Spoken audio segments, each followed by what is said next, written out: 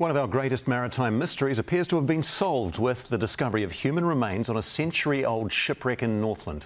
A documentary maker believes the remains are those of 499 Chinese gold miners whose bodies were being returned to China. Ali Pugh with the story.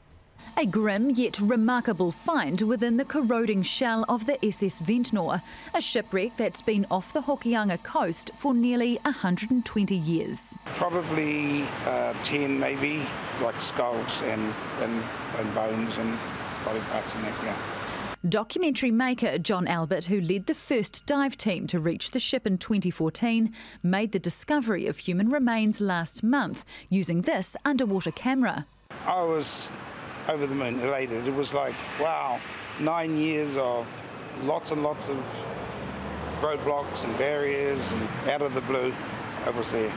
The ill-fated ship left Westport for China in 1902, taking with it the bodies of 499 Chinese gold miners who died in the brutal conditions of the goldfields.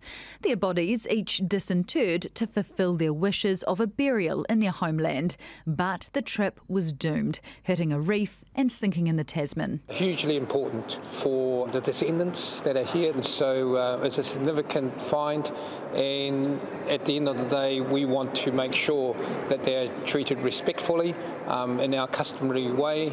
One of those lost the coffin holding Choie Sew Hoy, a pioneering businessman. He had organised the mission to return the bodies to China, but then died himself, becoming one of those on board.